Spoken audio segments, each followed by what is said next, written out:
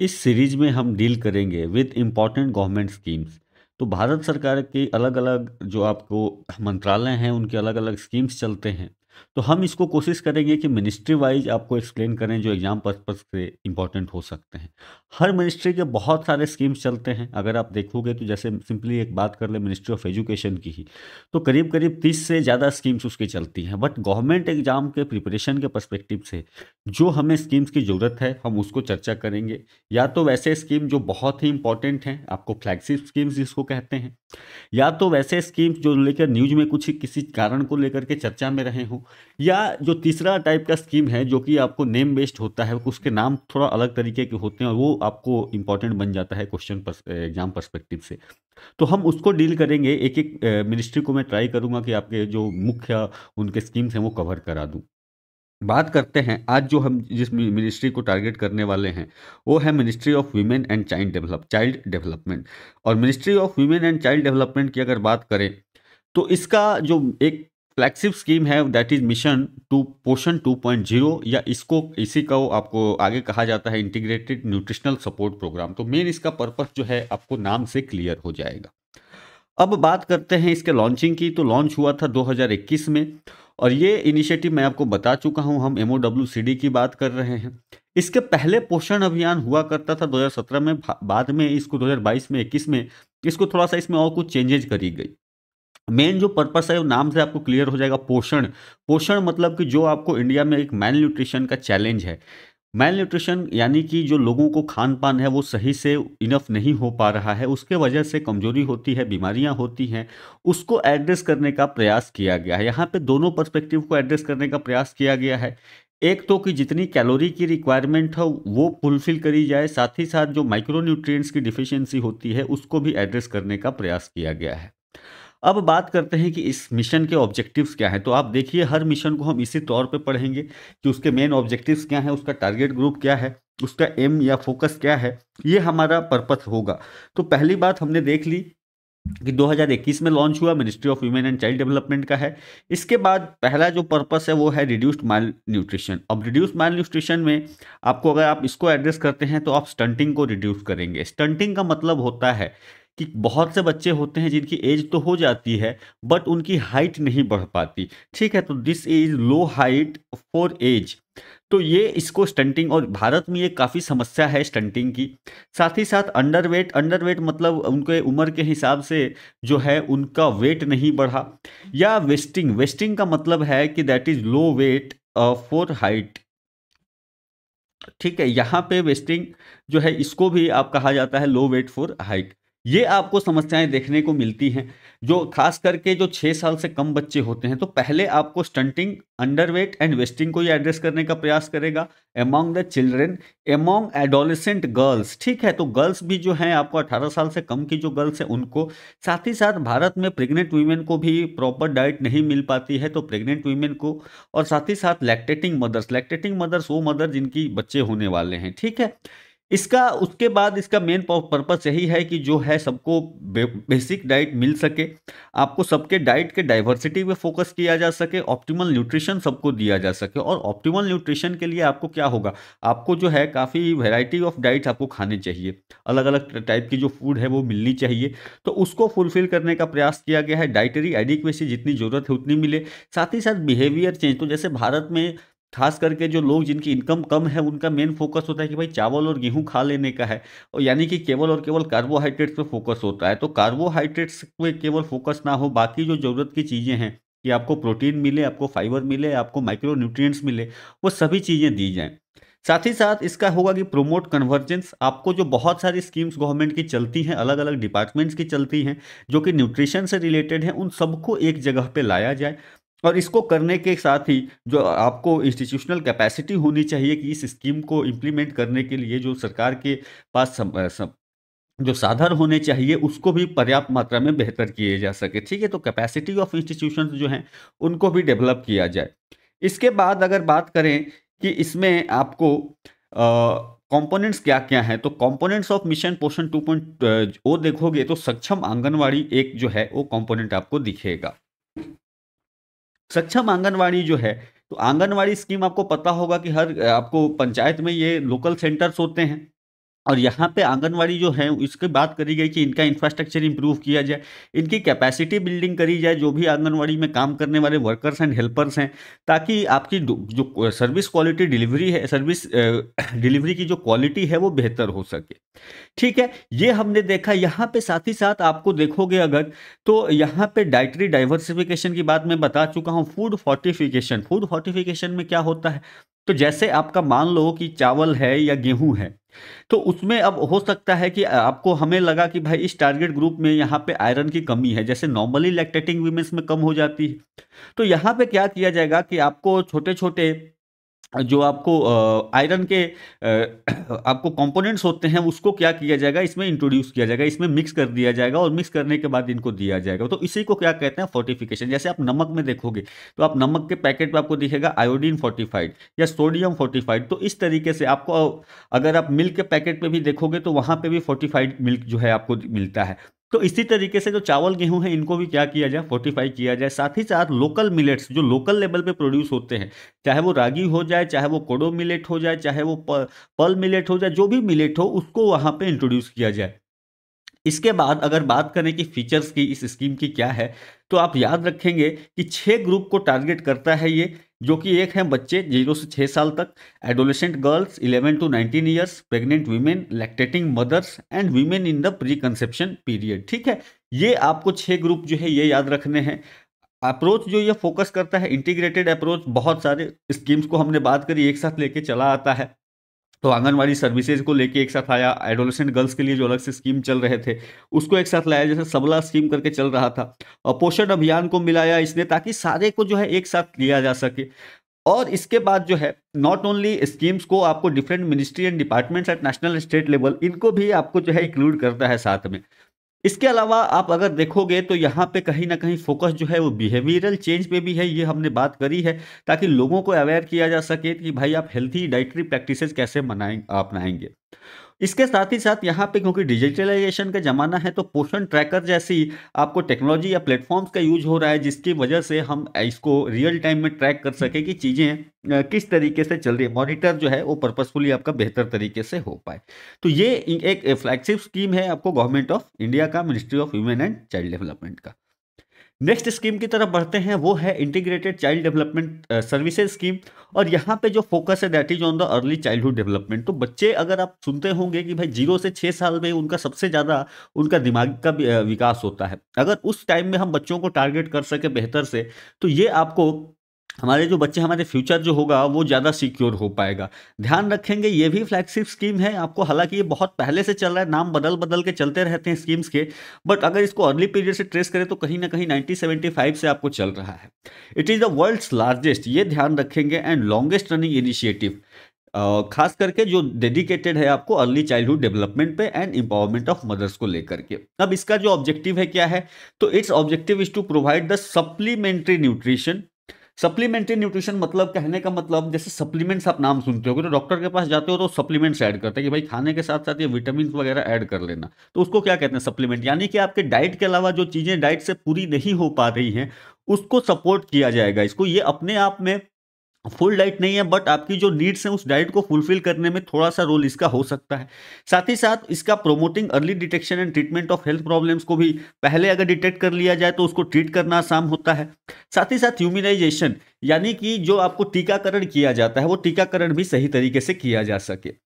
Also it lays the foundation for proper psychological physical and social development of the child ठीक है? उसका मानसिक, उसका शारीरिक और सामाजिक विकास बच्चे का सही तरीके से हो सके तो इसके लिए आपको अर्ली चाइल्डहुड एजुकेशन पे फोकस किया जाता है। प्री स्कूल एजुकेशन यानी बच्चे स्कूल में जाने से पहले जो प्री स्कूल एजुकेशन होता है, साथ ही साथ प्ले बेस्ड लर्निंग एक्टिविटी तो बच्चे खेलकूद से जो चीज़ें हैं वो सीखें। मेन जो है इसका फोकस है that is to reduce the incidence of mortality अब बच्चों को अगर आप इम्यूनाइज करेंगे, उनको प्रॉपर फ़ूड मिलेगा तो मोर्टालिटी कम होगी, जो मृत्यु दर है, वो आपको कम होगी। ठीक है, साथ ही साथ जो आपको मॉर्बिडिटी कुछ हेल्थ इशू हो जाते हैं मेल न्यूट्रिशन हो जाता है, या स्कूल ड्रॉप आउट बच्चे तबीयत खराब होने की वजह से स्कूल से ही बाहर निकल आते हैं, उसको खाने को नहीं मिले, वो स्कूल पढ़ेगा क्या? ठीक है तो ये इस चीज़ को फोकस करने का प्रयास है और अगर ये हम सही से कर पाए तो ये जो पॉवर्टी की आपको साइकिल है वो खत्म हो सकती है। क्योंकि क्या होता है कि कोई गरीब है ठीक है अब ये पुअर है तो इसको खाना नहीं मिल रहा है। तो खाना नहीं मिला तो इसकी डेवलपमेंट कम हो गई। अब डेवलपमेंट कम हो गई तो इसकी इंप्लॉयमेंट अपॉर्चुनिटी कम हो जाएगी। इंप्लॉयमेंट अपॉर्चुनिटी कम हो गई तो ये फिर से गरीबी का जो ये साइकिल है ये साइकिल आपको चलता रहता है। तो कहीं ना कहीं ये इस साइकिल को ब्रेक करने का प्रयास कर रहा है कि इस, इस यहाँ पर टारगेट करते हुए कि भाई डेवलपमेंट में बाधा ना आए। साथ ही साथ यहाँ पे भी जो है, बहुत सारे आपको डिपार्टमेंट्स को यहाँ पे भी कोलैबोरेट किया जाता है ताकि बच्चों को कॉम्प्रिहेंसिव तरीके से उनका डेवलपमेंट हो सके। इसके बाद अगर बात करें, इसमें कंपोनेंट्स क्या क्या हैं तो इसमें जो मेजर कंपोनेंट्स मिलेंगे वो पहले आपको आंगनवाड़ी सेंटर्स मिलेंगे। तो इसीलिए मैंने आपको आंगनवाड़ी सेंटर को वहाँ डिटेल में डिस्कस नहीं किया था। तो ये क्या है? These are the community based centres ये आपको हर जो पंचायत लेवल पे मिलेंगे और यही जो है आपको फोकस पॉइंट है ऑफ़ द आईसीडीएस डिलीवरी यहाँ पे ये बहुत सारी सर्विसेज़ देते हैं, जैसे कि हॉट मिल्स का प्रोवाइड करना, गर्म खाना देना हेल्थ चेकअप कराना, टीकाकरण करना प्री स्कूल एजुकेशन एजुकेशन जो आपको छोटे बच्चों को देना और साथ ही साथ काउंसलिंग फॉर मदर्स तो जो माँ है उनको भी आपको ज्ञान सहायता देना आ, मदद देना काउंसलिंग देना कि किस तरीके से आप अपने बच्चों का ख्याल रख सकते हैं। इसके बाद आंगनवाड़ी वर्कर्स ये जो है ये इसका मेन आपको फ्लैगशिप आप कह सकते हो मेन जो फोकस है यही लोग हैं जो इस काम को करते हैं they are the frontline workers यही लोग जो हैं आपको मैनेज करते हैं और सर्विसेज़ को डिलीवरी करते हैं। ठीक है ये ध्यान रखेंगे। मेन जो रोल है, इन्हीं का है आपको देखने मिलेगा। साथ ही साथ सप्लीमेंट्री न्यूट्रिशन की हमने बात करी तो ये क्या करता है? Hot cooked meals and take home ration ये दोनों ही प्रोवाइड कराता है to the pregnant and lactating mother and children under six years of age तो ये सब टर्म्स आप ध्यान रखेंगे, क्योंकि क्वेश्चन ऐसे ही पूछ लेगा आपसे कि भाई ये सप्लीमेंट्री न्यूट्रिशन किसको किसको दिया जा सकता है? ठीक है? तो ध्यान रखेंगे लैक्टेटिंग मदर्स एंड जो है आपको प्रेग्नेंट मदर्स और साथ ही साथ जो है children under six years of age ये दिया जाता है। साथ ही साथ टीकाकरण जो है आंगनवाड़ी सेंटर्स ये भी कहीं ना कहीं टाइमली इम्यूनाइजेशन जो है, उसको टीकाकरण बहुत सारी बीमारियों का ये कराते हैं। रेगुलर हेल्थ चेकअप्स कराते रहते हैं to the at anganwadi centres ताकि भाई पहले ही जो अगर कोई बीमारी है तो उसको पहले ही हम एड्रेस किया जा सके, वो पकड़ में आ जाए तो। ऑल्सो यहाँ पे कहीं ना कहीं प्ले बेस्ड लर्निंग एक्टिविटीज़ की बात होती है। तो क्योंकि प्री स्कूल एजुकेशन पे फोकस है तो प्री स्कूल में बच्चों को आप क्या सिखाओगे? तो आप खेलों के द्वारा आप उनको सिखाने का प्रयास करते हो so that the children's social and emotional development cognitive social and emotional development को टेक प्लेस तो हमने बात करी ना कि बच्चे जो है ज़ीरो से छः साल में उनका विकास जो है, मानसिक विकास बहुत ज़्यादा होता है करीब करीब नब्बे परसेंट हो जाता है। तो उस एज ग्रुप को जो है यहाँ पे टारगेट करने का प्रयास किया गया है। साथ ही साथ मदर मीटिंग एंड काउंसलिंग यहाँ पे रेगुलर मीटिंग होते रहता है ताकि बच्चों को बताया जा सके कि माँ को बताया जा सके बच्चों का ख्याल कैसे रखना है, कैसे बच्चों को आपको न्यूट्रिशन प्रोवाइड करना है, उनके हेल्थ का ख्याल कैसे रखना है हाइजीन का ख्याल कैसे रखना है। तो ध्यान रखेंगे ये दो स्कीम काफ़ी इंपॉर्टेंट है from the ministry of women and child development आगे बढ़ते हैं। इसमें जो तीसरा स्कीम है दैट इज़ द मिशन शक्ति और मिशन शक्ति आप समझ सकते हैं empowering women for a safer future ताकि शक्ति से ही आप समझ रहे हो कि वीमेन को इस तरीके से सक्षम बनाया जाए। ताकि फ्यूचर में उनका रोल आपको बेहतर हो सके। ध्यान रखेंगे it was launch in 2018 ministry of women and child development ये ध्यान रखेंगे this is an umbrella scheme यानी कि इस स्कीम के अंदर में बहुत सारी स्कीम्स चल रही हैं, जिसमें कि जो मेन फोकस है, वो है वीमेन सेफ्टी पे सिक्योरिटी पे एंड एम्पावरमेंट को वीमेन को किस तरीके से सक्षम बनाया जाए। यहाँ पे बात वही है कि वीमेन जो है they can live with dignity and contribute to the nation's development इसके जो दो सब स्कीम हैं, वो है मिशन संबल और मिशन सामर्थ्य, संबल, संबलता से आप समझ सकते हैं, कहीं ना कहीं सेफ्टी एंड सिक्योरिटी से रिलेटेड है। ताकि जो आपको एग्जिस्टिंग मैकेनिज्म है विमेन सेफ्टी को लेकर के, उसको आपको किया जाए, अच्छे तरीके से डेवलप किया जाए। सामर्थ्य जो है it aims to empower women economically and socially इसको जो है डेवलप करने का प्रयास किया गया है। अब जो है की ऑब्जेक्टिव्स क्या है मिशन शक्ति के? तो आप देखिए, आप समझ सकते हैं वीमेन सेफ्टी एंड सिक्योरिटी को इंप्रूव करना empower women socially and economically साथ ही साथ प्रोमोट जेंडर इक्वलिटी तो अगर वीमेन जेंडर गैप हम ब्रिज कर पाएँगे तो वीमेन को क्या होगा? इक्वल अपॉर्चुनिटी आपको हर क्षेत्र में देखने हमें मिलेगा।